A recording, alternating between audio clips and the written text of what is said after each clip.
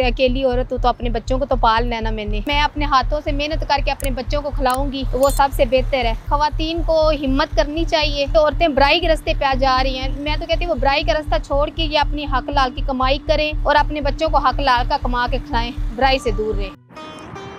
इस्लामाबाद के एक पौश इलाके में मट्टी के बर्तन बेचती ये खातून खुद मुख्तारी हौसले और अज़्म की ज़मानत है।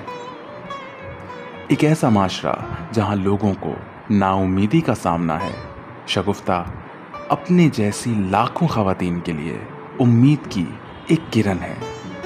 आइए शगुफ्ता की कहानी जानते हैं। मेरा नाम शगुफ्ता है और मुझे चार साल हो गए हैं ये काम करते हुए। शुक्र अल्हम्दुलिल्लाह बच्चे हैं कि कभी अच्छी खासी हो जाती है, कभी नहीं भी होती।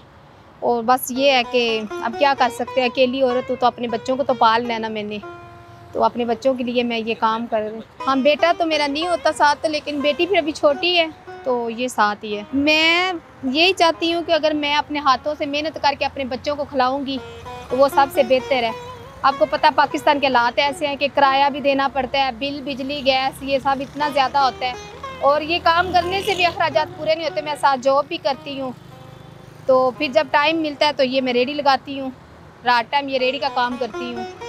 और बस ऐसे हालात जो हैं, वो चल रहे हैं। मैं तो यही चाहूँगी कि ख़वान को हिम्मत करनी चाहिए, ठीक है? कि वो कहते हैं ना कि लोग की औरतें बुराई के रास्ते पे आ जा रही हैं। मैं तो कहती हूँ, वो बुराई का रास्ता छोड़ के ये अपनी हक लाल की कमाई करें लेकिन रोड पर खड़े हैं, ये मेहनत कर रहे हैं, ठीक है? बुराई नहीं हम लोग कर रहे। और अपने बच्चों को हक लाल का कमा के खिलाएँ, बुराई से दूर रहें। ये तो हमारे अंदर का जो मजबूती है, वो हमें जो है ना, ये करने पे किया हुआ है कि मैं रात के दो बजे तक भी खड़ी रहूँ, किसी की हिम्मत नहीं है कि कोई बात करके यहाँ से जा सके। ठीक है, और ना ही मैं किसी को करने देती हूँ।